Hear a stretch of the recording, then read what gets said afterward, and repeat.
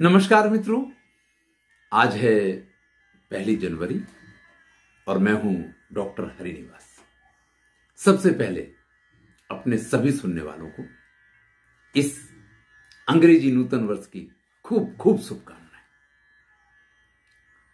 आपका ये नया साल आपकी सफलताओं का प्रतीक बने, आपकी इच्छाओं की पूर्ति हो ईश्वर आपको इस प्रकार की सद्बुद्धि दे कि आप अच्छे अच्छे कार्य कर पाए। और सबसे बड़ी बात यह है कि जो गोल आप निर्धारित करें, वो आप पूर्ण कर पाए। देखिए, ये एक बड़ा विवाद का विषय है, विशेष करके संस्कृत वालों के लिए, कि इस नूतन वर्ष को मनाना चाहिए, नहीं मनाना चाहिए। ये तो हमारा नूतन वर्ष है ही नहीं। ये तो अंग्रेज़ों का नूतन वर्ष है। उनकी गुलामी की जो हमारे ऊपर असर है, हम सिर्फ़ इसीलिए इस वर्ष को मनाते हैं। बहुत सारी ऐसी बातें। बहुत दिन बाद एक लेख जैसा फिर से मैंने पढ़ा कि अंग्रेज़ भी पहले नूतन वर्ष जो है अप्रैल में मनाते थे, जनवरी में नहीं मनाते थे। लेकिन अप्रैल में जब वो मनाते थे तो वो भारतीय नूतन वर्ष के बहुत आसपास था। तो फिर वो भारतीय संस्कृति की झलक उसमें दिखाई देती थी। इसलिए उन लोगों ने ये तय किया कि हम यहाँ से नहीं, हम जनवरी से नया वर्ष मनाएँगे। देखिए, ऐतिहासिक तथ्य इसमें कुछ भी हो सकते हैं। मैं उनमें नहीं पढ़ता लेकिन जो भी कार्य आप करते हैं, आप विवाह करते हैं, मैंने पहले भी ये बात कही थी, उसमें कार्ड में आप सिर्फ़ तिथि नहीं छपवाते हैं, आप तारीख छपवाते हैं। आप अपनी एनिवर्सरी तारीख के हिसाब से मनाते हैं, आप आपका जन्मदिन तारीख के हिसाब से मनाते हैं। आपने अपने प्रत्येक भरे हुए फॉर्म में यही अंग्रेज़ी तारीख लिखी है। आप सब जगह इसका प्रयोग करते हैं। सब जगह इसका उपयोग करते हैं। इसी के अनुसार रविवार की जो छुट्टी होती है, उसका आनंद लेते हैं। इसी के अनुसार आपके बच्चे स्कूल जाते हैं। इसी के अनुसार जो सैलराइड पर्सन है, उनको तनख्वाहें मिला करती हैं। और जिस प्रकार से उनको तनख्वाहें मिलती हैं, जो लोग अपनी दुकान चलाते हैं, उनको भी इसी के अनुसार अपनी दुकान में अपने व्यवसाय को ध्यान में रखना पड़ता है कि भाई, ये तारीखें लोगों के पेमेंट की तारीखें हैं तो इन दिनों में खरीदी ज़्यादा होगी और खरीदी होगी तो इसके हिसाब से चाहे आप आर्मी की कैंटीन में चले जाइए, चाहे आप कहीं भी चले जाइए, इसी प्रकार से सारी व्यवस्थाएँ की जाती हैं। मॉल वगैरह में भी इसी प्रकार से सारी व्यवस्थाएँ की जाती हैं। तो आप उपयोग में सब जगह इस तारीख को लाएँगे।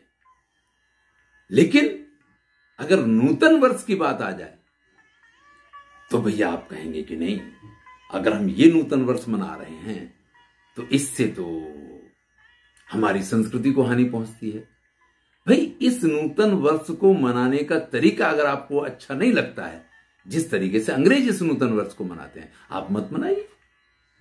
आप अपने हिसाब से मनाइए।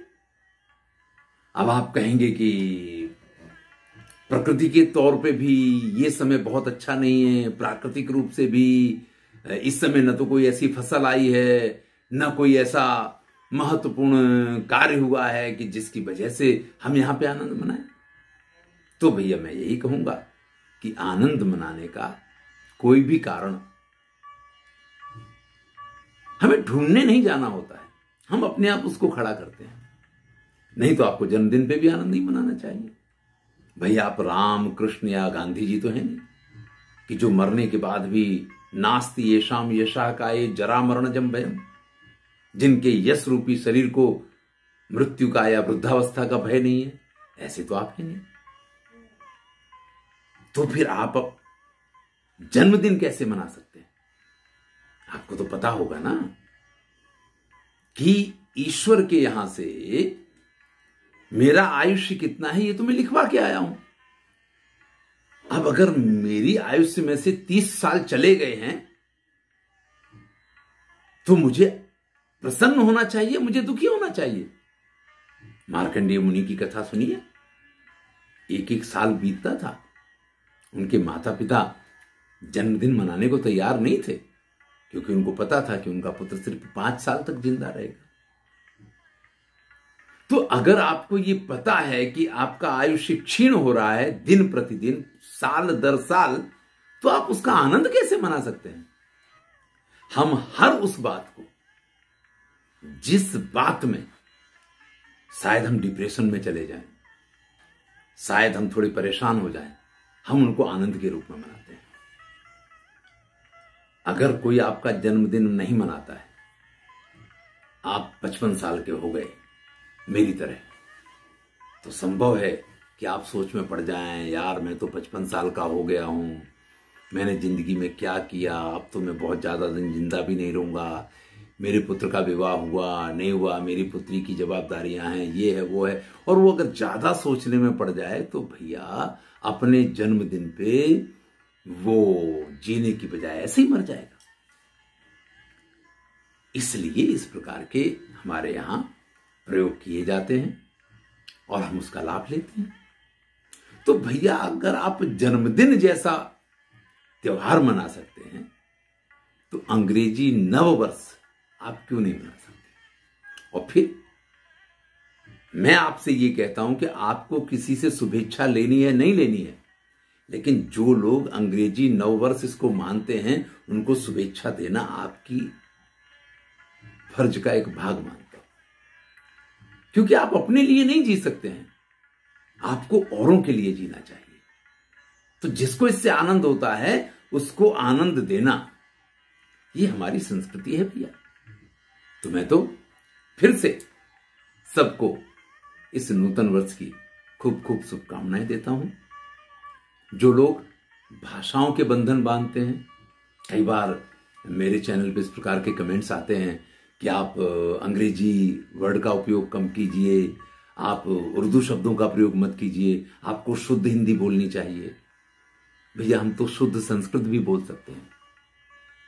लेकिन उसकी उपयोगिता कितनी रह जाएगी?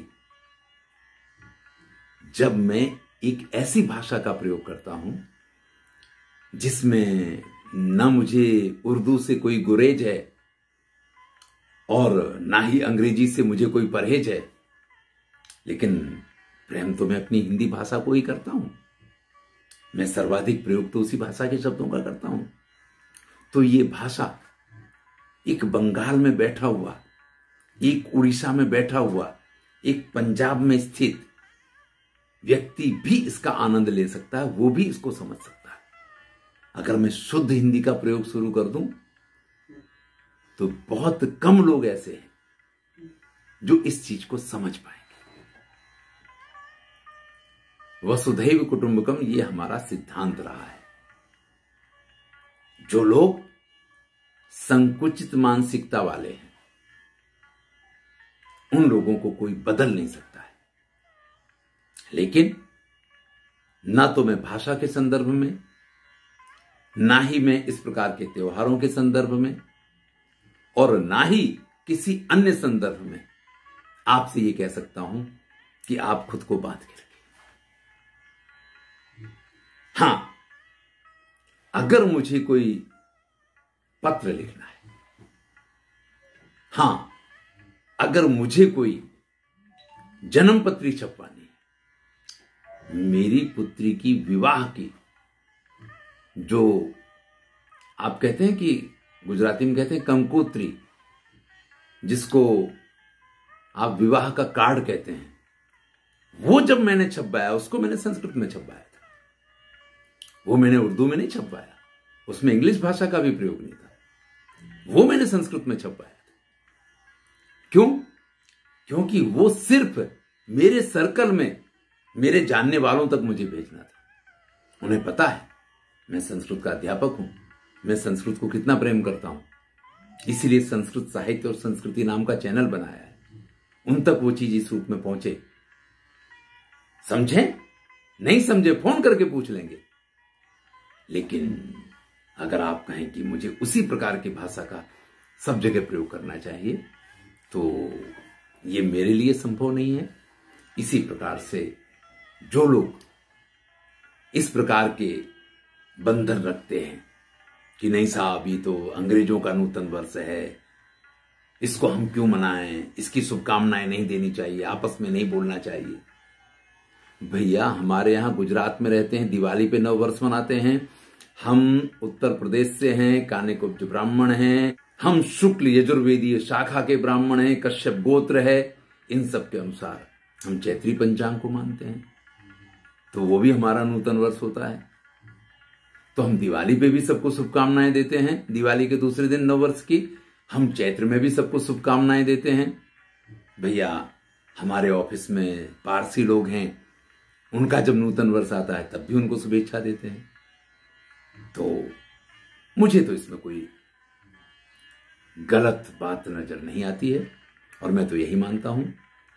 कालिदास ने लिखा है, उत्सव प्रिया खलु जना, हमें जब जब मौका मिले, तब तक अपने लिए नहीं, दूसरों के आनंद के लिए हमें हर त्योहार में शामिल होना चाहिए, हर त्योहार को मनाना चाहिए, और जितना महत्वपूर्ण हमारा अपना नूतन वर्ष होता है। हर धर्म का, हर मज़हब का नूतन वर्ष उतना ही महत्वपूर्ण होता है। सबको हमें बराबर मान सम्मान देना चाहिए। हाँ आपको पूजा करनी है, आपको पाठ करना है, आपको नए वर्ष के लिए अपने संकल्प लेने हैं, आपको अपने गोल निर्धारित करने हैं, वो आप अपने नव वर्ष पे कीजिए, दूसरा अपने नव वर्ष पे करेगा। लेकिन आप कहें कि नहीं, हम तो शुभेच्छा भी नहीं दे सकते हैं। अरे हमारे तो एक मित्र ऐसे हैं कि उनको कुछ इस दिन शुभेच्छा दे दे तो वो कहो तो अनाप शनाप उसको आशीर्वाद दे डाले।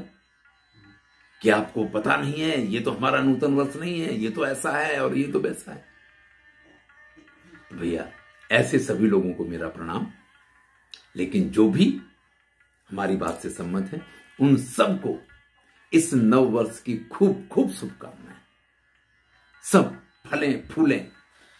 सर्वे भवंतु सुखिना, सर्वे संतु निरामय, सर्वे भद्राणी पश्यंतु माँ कश्चित दुख भाग भवेद भैया ये प्रार्थना करने के लिए हमें ये आवश्यक नहीं है कि सिर्फ़ हमारा नव वर्ष हो तभी हम ये काम कर पाए फिर से सबको खूब खूब शुभकामनाएँ। सबका ये वर्ष, ये इंग्लिश वर्ष जिन तारीखों के हिसाब से हम चलते हैं, जिनके आधार पर हमें सैलरी मिलती है, जिन तारीखों के आधार पर हमारे सारे व्यवहार किए जाते हैं, उसकी बहुत बहुत शुभकामनाएँ। धन्यवाद।